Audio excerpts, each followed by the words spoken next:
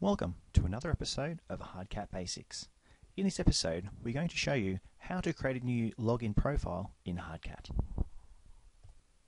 To create a new user, you first of all have to access the Hardcat User Administration function. To get access to this area, you first of all have to click on the File menu, then click Administration, and then select Security. To create a new user within the Hardcat User Administration area, you have two options. The first being new, or you can use the copy function. To use the new function, the defaults that are created when using the new function are based around the Hardcat global options disable permissions for new logins. If that is ticked on, all the user rights are currently set to no rights and you have to elevate the privileges. If that is unticked, all user rights are set to full access RAD and all options ticked within the options area. Whereas the copy feature will copy all the rights that are currently associated to whichever account is currently selected. I will now create a new user using the New button. The first screen presented is where you can enter the user's Hardcat username. This has to be unique, and when setting this up, we typically use the user's existing Windows username as their code. In this instance, I'll use this as an example.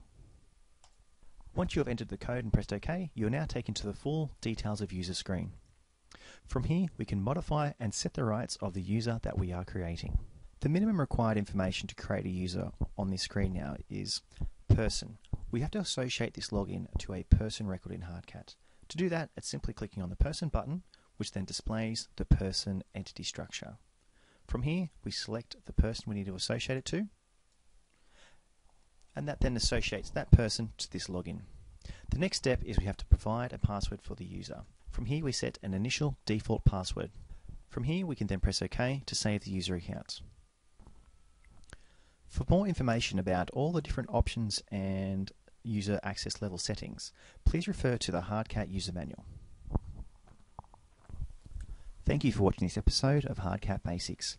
If you have any other questions about anything you've seen in this episode, please don't hesitate to contact Hardcat support.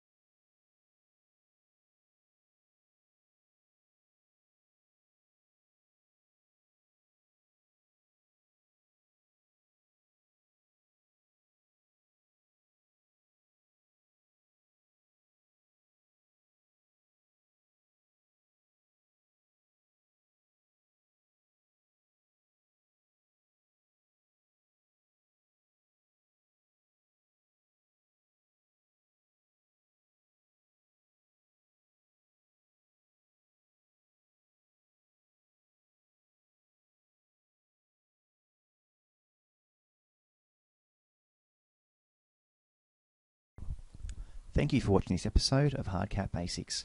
If you have any other questions about anything you've seen in this episode, please don't hesitate to contact Hardcat support.